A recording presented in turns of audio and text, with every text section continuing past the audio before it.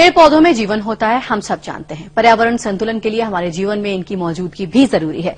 पेड़ों की कटाई पर पाबंदी के लिए कई कानून भले ही बने हों, लेकिन कहीं कोई समाज इन्हें न काटने के लिए सामाजिक तौर से बाध्य है। जहाँ कभी नहीं काटे जाते कोई भी पेड़, ऐसा ही एक गाँव है राजस्थान का, जहाँ पेड़ काटना गुनाह है।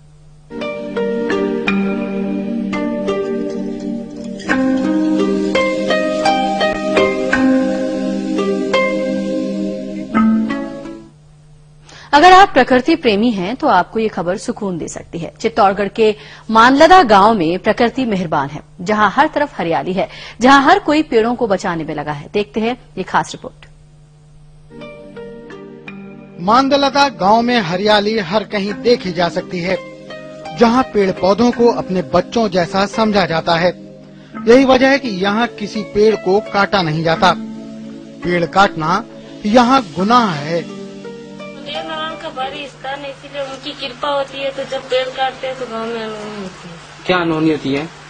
ये जैसे कि कोई अंधा हो जाता है पेड़ काटता है तो किसी के घर में बीमारी हो जाती है।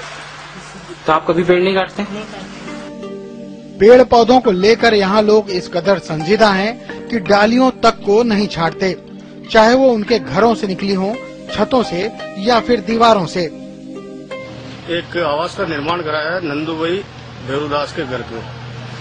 तो उसके घर के बीचों बीच भी एक, यही पौधा आ रहा है। वो अभी तक हरा है बिल्कुल, उसको उसने काटा नहीं है। यही अगर दूसरी जगह होता तो उस पौधे को काट देते। पौधों को लेकर यहाँ के लोगों की आस्था कहें, विश्वास कहें या फिर प्रकृति प्रेम। इतना ज़रूर है कि हर घर आँगन, किचन और बरामदे में हरे भरे पेड़ नज़र आ रहे हैं, जिन पर वन माफिया की नज़र अभी नहीं पड़ी है। दीपक व्यास सहारा न्यूज ब्यूरो चित्तौड़गढ़